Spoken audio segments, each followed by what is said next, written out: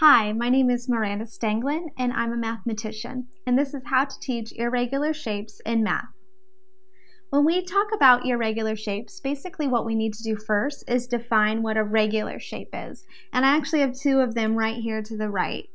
Uh, first, I have an equilateral triangle and also a square. And in an equilateral triangle, the length of each side is the same, as well as the angles. So all of my lengths of this triangle are the same size and all of my angles measure to be 60 degrees. And a square, it's the same thing. All of my sides are the same length and each corner measures 90 degrees. When we go to talk about what an irregular shape is, I'm just going to draw an example of a house. It's got an equilateral triangle on top and a rectangular bottom. This is an irregular shape because not all of the sides match. Some of the sides match. These two sides match, these two sides match.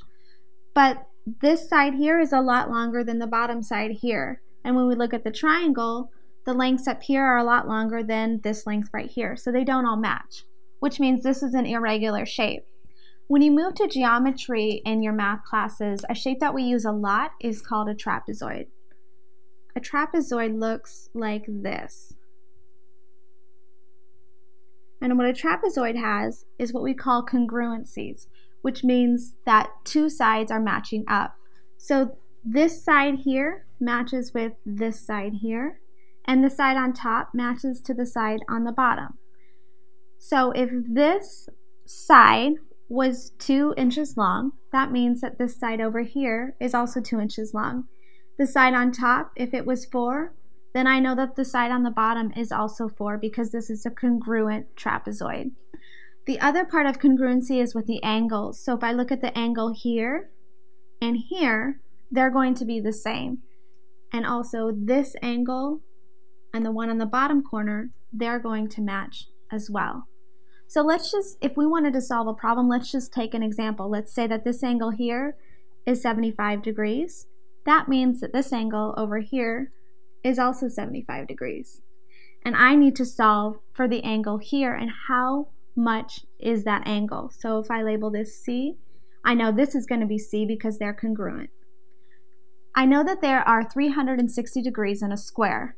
So 360 is equal to 75 plus C plus 75 plus C.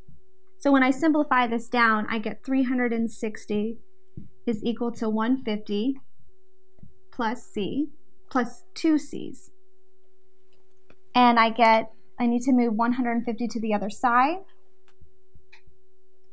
And I get 210 is equal to 2C. So if I want to solve for C and figure out what this angle is, I divide by 2. So I get C equal to 105. So this has been a little bit about working with congruencies and how to solve angles with them and how to use irregular shapes in math.